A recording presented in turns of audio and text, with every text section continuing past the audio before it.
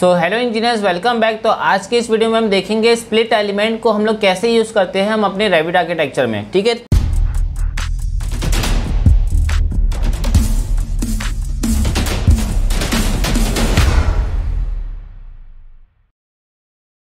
तो यहाँ पे रेविट में हम लोग जाते हैं। यहाँ पे पहले तो मैं कुछ वॉल बना लेता हूँ, ठीक है?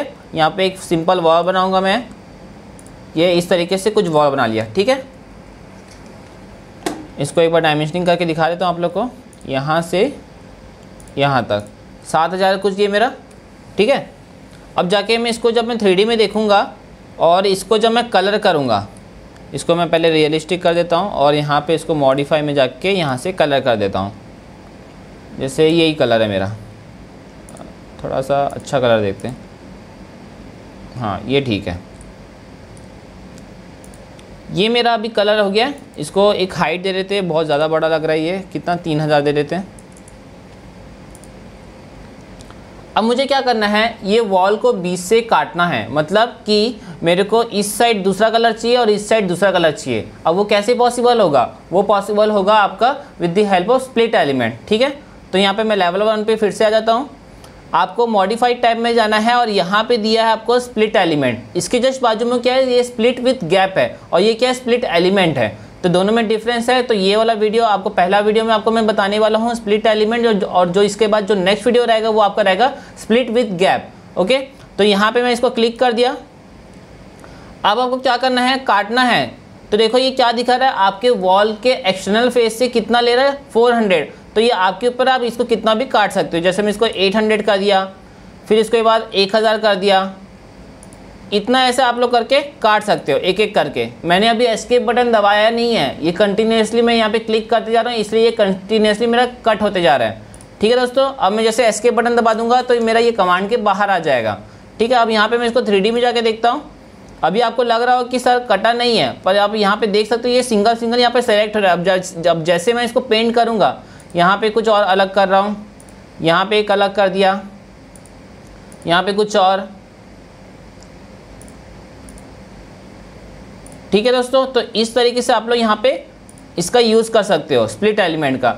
अभी तो क्या हो रहा है, ये वर्टिकल कट है। अगर आपको हॉरिजॉन्टली काटना है तो उसके लिए क्या करना पड़ेगा? फिर से आप लोग को स्प्लिट एलिमेंट में जाना पड़ेगा। और यहाँ पे देख सकते हैं दोस्तों, आपको ऑप्शन दे रहा है। ये क्या हो रहा है? नीचे से आपको कितना काटना है? अब देखो, यहाँ पे नीचे से मैंने इसको 800 काट दिया। ये वाला पोर्शन कटा है मतलब ये जो वुडन टेक्सचर वाला दिख रहा है, ये वाला आपका कटा है। अब जैसे मुझे इसमें काटना है, यहाँ पे कट गया, इधर कट गया, इधर कट गया, यहाँ कट गया और इधर भी कट गया। अब जैसे मुझे इसमें कलर भी करना है तो मैं वापस इसमें जाऊँगा। कोई भी नॉर्मल कलर लेते जाते हैं हम लोग। देख रहे हो कलर चेंज होते जा रहा है मेरा यहाँ पे।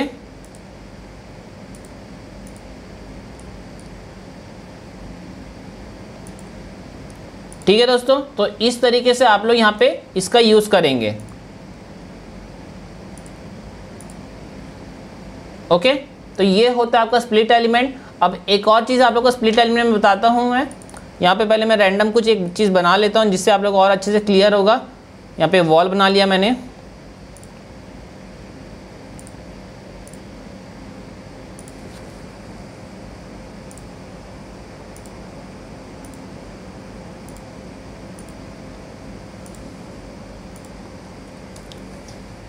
ठीक है, इस तरीके से कुछ बनाया मैंने। एक तो डोर भी लगा देता हूँ इधर।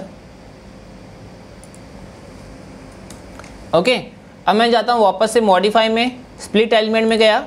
यहाँ पे आप दोस्तों देख सकते हो डिलीट इनर सेगमेंट दिया है, ठीक है? अब जैसे ये डिलीट इनर सेगमेंट में क्लिक करता हूँ, आप जब भी स्प्लिट एलिमेंट बनाओगे तो स्प्लिट एलिमेंट में एक तो आपको नाइफ टाइप का आपका जो कर्सर रहेगा वो नाइफ टाइप का बन जाता है, ठीक है? अब जैसे मैंने यहाँ पे इसके इनर सेगमेंट में यहाँ पे क्लिक करा यहाँ एक क्लिक कर दिया और एक यहाँ क्लिक कर दिया। तो देखो कि क्या कर दिया? आपका इनर सेगमेंट वो डिलीट कर दिया। अब जैसे मुझे यहाँ पे डोर के लिए जगह छोड़ना है। यहाँ पे एक क्लिक करा, यहाँ पे एक क्लिक करा। तो ये क्या कर देगा? मेरा कट कर देगा। ठीक है? वैसे तो हमारा रेविट आर्किटेक्चर में वॉल बनाना ज़रूरी है, तभी वहाँ पे डोर हमारी प्लेस होती है। फॉर एग्जांपल मैं आपको बता रहा हूँ कि अगर आप ये डिलर डिलीट इनर सेगमेंट चेक करेंगे, तभी ये आपका इस तरीके से कट करेगा। अदरवाइज़ ये क्या करेगा? जैसे मैं यहाँ पे फिर से इसको स्प्लिट एलिमेंट करा और इसको अनचेक कर दिया। तो ये क्या करेगा? बस वॉल को मतलब वॉल के बीच में कट ला देगा। ठीक है? अब इसको मैं थ्री में जाके दिखा देता हूँ। देख रहे हो? ये अलग सेलेक्ट हो रही है, ये अलग सेलेक्ट हो रही है और ये अलग सेलेक्ट हो रही है। और यहाँ पे जो मैंने वॉल बनाया था, वो कट गया है, क्यों? बिकॉज़ ऑफ़ इनर सेगमेंट ठीक है? यहाँ पे भी देख सकते हो आप।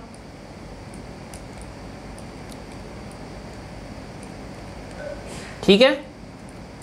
तो ये होता है आपका स्प्लिट एलिमेंट ठीक है दोस्तों? तो आज के वीडियो के लिए सिर्फ़ इतना ही। नेक्स्ट वीडियो में हम लोग रेबिट के बारे में और भी चीज़ों के बारे में जानेंगे। So thank you so much